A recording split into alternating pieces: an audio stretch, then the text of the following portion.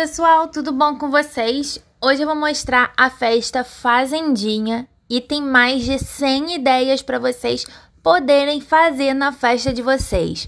Usem a criatividade porque tem muita coisa legal. Lá no blog eu também vou deixar as fotos para vocês pegarem e poder é, fazer. Além dos convites que também tem aqui e as tags que vocês podem imprimir em casa. Bom, espero que vocês gostem do vídeo de hoje. Não esqueça de se inscrever aqui no canal, de curtir e compartilhar esse vídeo. E também comenta aqui embaixo quais são os próximos vídeos que vocês gostariam de ver por aqui.